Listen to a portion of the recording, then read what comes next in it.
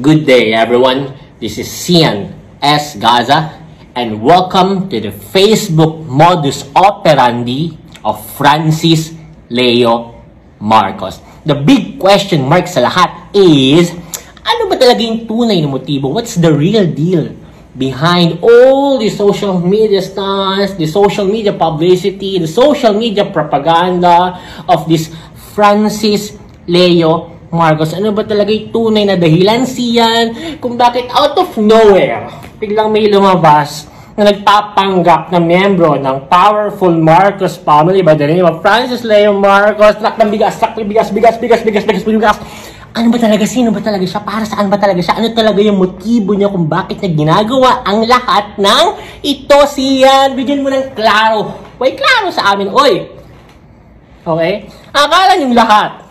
Okay, ang isip ng lahat is, this is some sort of a political propaganda in preparation of the 2022 elections dahil siya itatakbong isang senador. Diyan kayo nagkakamali. Okay? Palabas lang nila yan is just a mere diversion. Kung mali pala yun siyan, ano ba talaga yung tunay na dahilan? Okay? Makinig kayo. This is the real reason behind. Okay? Francis Leo Marcos, under the name, real name of Norman Antonio Mangusin, ay ginamit lang ng isang tao, ng isang investment scam syndicate as a front. Okay? Why? Ang problem kasi, way back December, okay, nagpaplano na itong investment scam syndicate na to ng isang kumpanya na pwede lang itayo by 2020. Kasi itong isang investment scam syndicate na to, I, I know them, I know them, I know them, I know them personally. Ay, marami nang naitayong kumpanya, mga investment scams for the past how many years already para kumubra ng milyon-milyon, okay? So maraming Pilipino, even billions. Tapos sa exit lang sila, tatakbo nila yung pera. So nag-isip sila last December, November, okay? Nakarating sa akin. Nag-isip sila ng isang kumpanya na pwede lang itayo sa 2020, okay? Isang investment scam. The problem is, pagpasok ng 2020, nung i-execute na nila last February, okay? Last February and March, nung execute nila. The problem is, meron ng pandemic, mahirap na makakuha ng investment sa mga tao kasi walang pera yung mga tao. Okay? Ngayon, this is investment scam syndicate.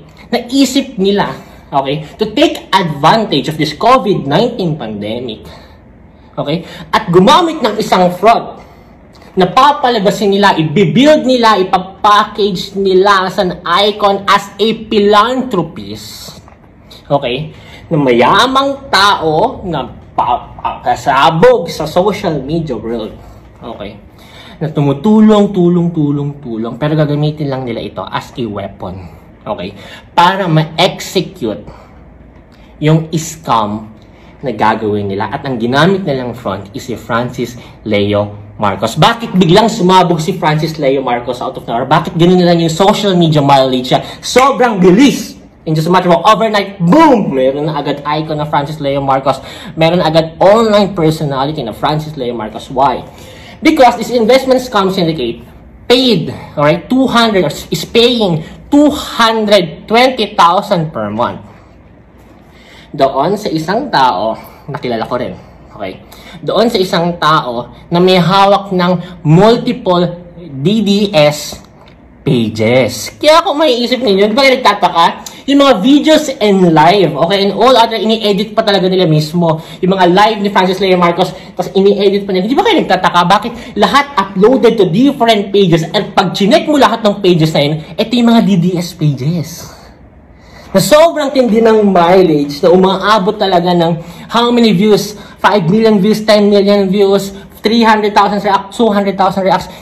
It's a well-executed plan between the investment scam syndicate, okay, and this particular person, si Mr. DDS Pages. Nagbabayad itong investment scam syndicate kay Mr. DDS Pages ng 220,000 per month. That's their contract. Okay? Para lahat ng mga propaganda, Facebook Lives, and all the video uploads of Francis Leo Marcos ay may upload sa lahat ng DDS Facebook pages na hawak nitong taong to for 220,000 pesos per month. Then boom! There's this Francis Leo Marcos. Ang ginagamit nilang props, okay, take note, ang ginagamit nila ngayon na strategy, okay, is binabanatan nila yung puso ng masa. That's the reason why ito na rin yung tinarget nila, yung mga DDS pages. Kasi masang-masa to. Alam niyo may mga DDS, tama? Hindi na natin kailangan i-elaborate. Alright? Ang mga DDS, madali itong makuha emosyon. Pag ganyan may tumutulong ako, basta tumutulong, bla bla bla, wala na kaya bla bla bla Samba yan, samba, okay? Cool to yan eh. Cool to yan. So ngayon, nung nakuha nila yung mass base na yon as followers ni Francis Leo Marcos, boom! Parang biglang may isang kulto si FLM na siya naman talaga si Norman Antonio Mangosin. Nako yung strategy nila. Kaya ginagawa nila is, kinukuha nila yung punta nila yung masa, tutulong yung masa. Sino may gusto ng bigas? Truck ng bigas. Pero ito, you know, yung truck ng bigas ang lasa nasa likod. Hello, sino ba? Challenge, mayaman challenge, blah, blah, blah. Di? Puro kuda eh. Puro kuda si FLM eh. That's the strategy, tama? Yung likod na yon, yung nasa likod, yung truck ng bigas, it's just a mere props. And based to my very, very credible source, nakausap din mismo yung may-ari ng mga trucks, okay? Nag-rent lang sila ng mga trucks, 3,000 to 3,500 per day. Para gamitin props at props lang din yung fixed na bigas na yun na pinopront nila kahit naman talaga wala sila talaga ang pinapamigay. Meron pa konti-konti pero yung toneto nilada na chenili na talaga nakarekta sa tao, no? Binibigay nilang bigas, nilarekta lang nila sa mga politicians for the sake lang din of propaganda para mas nakahatak pa si tumataas pa yung credibility ni Francis Leo Marcos. Okay, kaya kayo lahat na baliw. That's the reason behind kung bakit lahat may kita niya yung mukha niya everywhere. At marami nagtatanggol sa kanya mga, mga apostoles niya.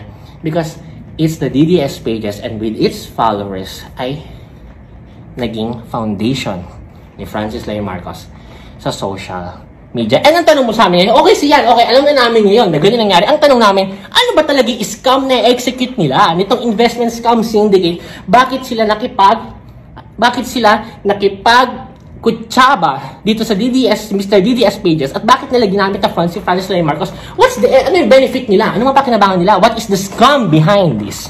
The scam behind this is the moment na mabuild na nila si Francis Leo Marcos as a philanthrop, philanthropic icon, as a philanthropist, na isang mayaman, okay, na tao na tulong ng tulong ng tulong, pag na-build nila ito as a philanthropist, doon na sila mag start kumuha ng mga donations online mula sa mga OFWs. Kung baga, ang ginawa nila, pinuntiryan nila yung masa na madaling masway. Alam niyo naman, especially itong DDS na to, madaling masway, pinuntiryan nila to para magkaroon siya ngayon ng matindi. Alam niyo naman eh, pag DDS eh, talagang solid dyan kahit ano mangyari hanggang kamatayan, DDS kami. Tama? Ganyan sila eh.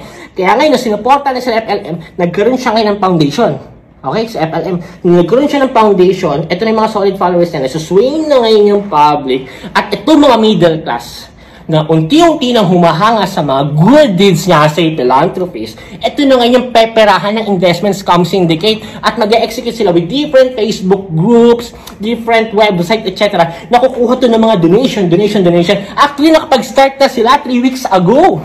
Ang dami ng OFWs, nakalikom na rin silang nail. Imagine that believing that this Francis Lane Marcos is a philanthropist, okay, and they want to support the, the, the cause of L, FL, FLM in helping the poor Filipinos in these trying times, in this COVID-19 pandemic period, okay, nang inag-donate na yung mga tao And dapat ang next na gagawin pa nila is magtatayo na sila ng different charitable institutions and different foundations na ang icon, ang naka-front pa rin is si Francis Leo Marcos at itong mga institutions na to, charity foundations na to, ito yung kukuha ng marami pang donations na million, million, million donations, donations mula sa mga company, etc. sa mga mayaman, donation, donation, donation. Tapos online din, okay? Online execution sa mga OFW and middle classes na gustong tumulong sa cause at napahanga na rin ni Francis Leo Marcos, bumilib na sila, kukuha rin ng donation, donation, donation, donation, donation, at yung milyon-milyon na donation na yun na dumadaan through different medium like this foundation na i-register nila sa SEC as non-profit organization, this blah blah brotherhood, this blah blah blah blah blah, and all online, dun. Basta anything na makakakubra sila ng donation in the fastest way possible and also in the legal way. Okay, by incorporating it, maglalagay sila sa bangko ng 1 million, then they can take donations. Lahat yan, boom! That's the plan supposedly. Nakukubra sila ng milyones using this front na Francis Lem Marcos na binild nila, pinackage nila as a philanthropist, icon, personality, na maraming followers na ang base mismo niya foundation nila is mga DDS na to kumakalat to mga propaganda bigas dito bigas dito then from there they take donations then boom makakubra sila ng milyon-milyon at bigla na lang maglalaho after few months. 3 weeks ago, nakapagsimula na sila. If I'm not mistaken, nakakubra na nila sila somehow ng kulang-kulang 10 million kasi nagsisimula na sila online and taking it from the OFWs. Pero, nasira lahat ng plano nila nung nahuli at naaresto si Francis Leo Marcos Kamakailan.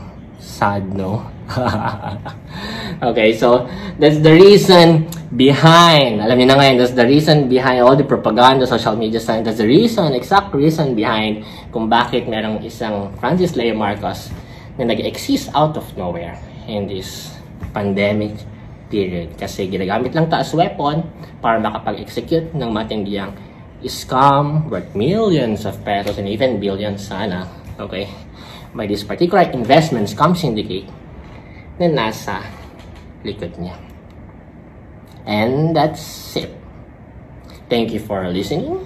This is Sian S. Gaza, always saying, Damn! Bye-bye!